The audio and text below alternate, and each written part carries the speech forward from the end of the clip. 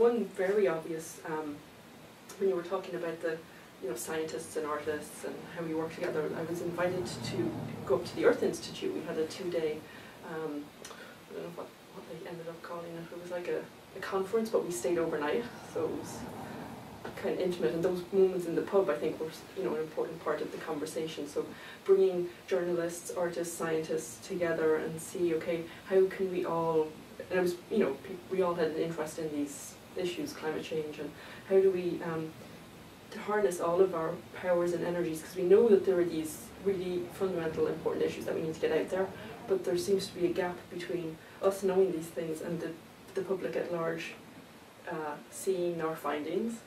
And so the conversation, um, unfortunately, a lot of the times it comes back to scientists um, saying, well, we've got these great findings and it would be lovely if the artists could illustrate them and make it a nice poster or a picture or something.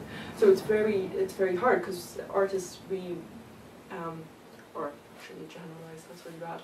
But you tend to start you have information and then it kind of leads you somewhere else and you end up making this thing. So it's hard to say, well I'm going to like for me like this piece and a lot of the work I do, I do is very obviously talking about these different issues, but it might not necessarily be obvious in your face to a viewer. Because I like to leave these things open so that somebody can walk in and say, oh, maybe that's what this is about, maybe this is the question, maybe that's the answer. I don't like to say, this is what you're supposed to think, this is what the answer is.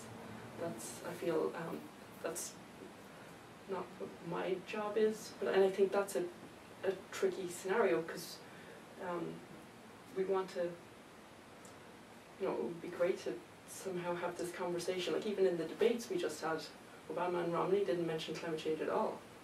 And like to, to me and the people I talked to were dumbfounded. It's like this is this is criminal. Hmm. yeah. It's not part of the conversation.